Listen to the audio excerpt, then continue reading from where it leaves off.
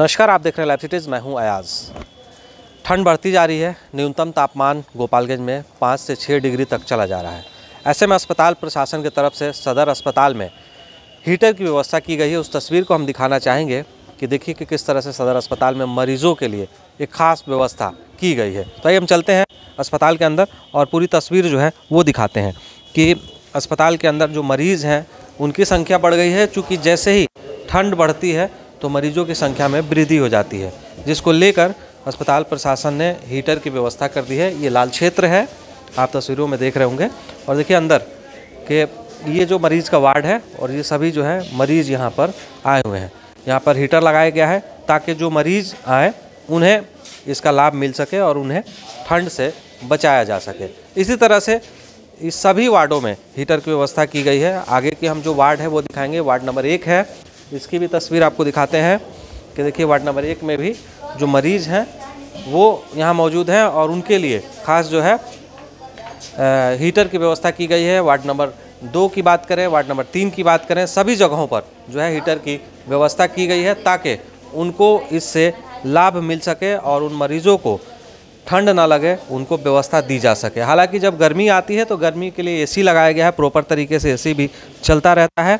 उसी तरह से ठीक ठंड में ठंड में भी जो है हीटर की व्यवस्था की गई है अस्पताल प्रशासन की तरफ़ से ताकि उन सभी मरीजों को उसका लाभ मिल सके। तो आइए हम जो यहाँ के जो प्रबंधक हैं उनसे बात करेंगे और उन्हें, उनसे बात कराते हैं आपको कि क्या कुछ वो इसको लेकर बता रहे हैं कि कितने हीटर जो है वो अस्पताल में लगाए गए हैं और किस तरह से अस्पताल को लेकर तैयारी की गई है क्योंकि ठंड बढ़ रही है और ठंड को लेकर क्या तैयारियाँ हैं।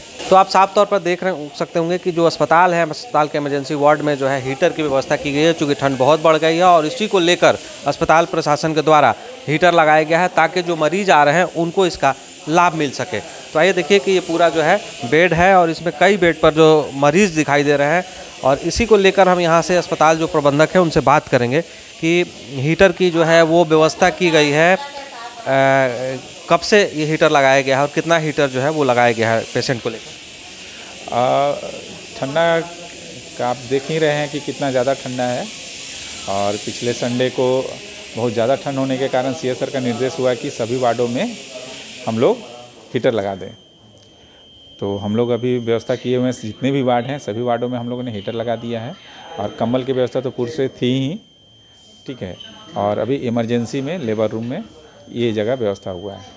क्या मरीजों को उसका लाभ मिल रहा है? मरीज़ ले पा रहे हैं लाभ।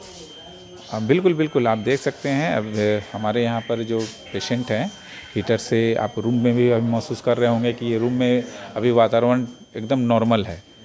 ठंडा बाहर में बहुत ज़्यादा ठंडा है लेकिन वातावरण रूम का अच्छा है। ये हीटर के कारण ही हुआ है। अच्छा मरीज़ जो बाहर के लोग हैं वो ऐसा सोचते हैं कि अस्पताल में व्यवस्था नहीं मिलती है। तो उन लोगों के लिए खास क्या कुछ कहना चाहेंगे कि किस तरह की व्यवस्था अस्पताल में दी जा रही है? बिल्कुल हम लोग तो ये भी कहते हैं कि अगर कोई सुझाव है तो आप सुझाव दे सकते हैं कि हमें और क्या ज़रूरत है क्योंकि जितना हम लोग प्रयास कर रहे हैं हो सकता है कि कमी हो तो हम चाहते हैं कि सुझाव दे तो हम उसको भी पूरा करेंगे। और सी एस ठंड को लेकर खास अस्पताल में क्या व्यवस्था है ये बता दीजिए ठंड का देखिए अभी तीन जगह अलाव के लिए व्यवस्था है। हमारा लेबर रूम के पास है अ, हमारे एस के पास है इमरजेंसी के बाहर भी है। इसके अलावा भी हम लोगों के हर वार्ड में हीटर भी लगा हुआ है। मरीजों के लिए कंबल की भी व्यवस्था है। ये व्यवस्था हम लोग के अपने स्तर से है। उसके अलावा भी यदि अगर किसी को सलाइन चढ़ाना है या पानी चढ़ाना है तो हम लोग व्यवस्था किए हुए हैं कि केतली से गर्म पानी में उसको टब में डाल के उसको पहले हल्का सा नॉर्मल कर लिया जाए तब उसको पानी चढ़ाया जाए। डायरेक्ट उसको ना चढ़ाया जाए ताकि उसको ठंडा ना लगे। तो आपने साफ़ तौर पर सुना कि सदर अस्पताल प्रशासन लगातार बढ़ते ठंड को लेकर अलर्ट मूड पर है और अस्पताल के इमरजेंसी वार्ड के सभी वार्डों में मरीजों के लिए हीटर की व्यवस्था की गई है ताकि उन्हें ठंड ना लगे और उन्हें सुरक्षित बचाया जा सके। आप देख रहे हैं लाइव सिटीज़ मैं हूँ के से आयाज अहमद।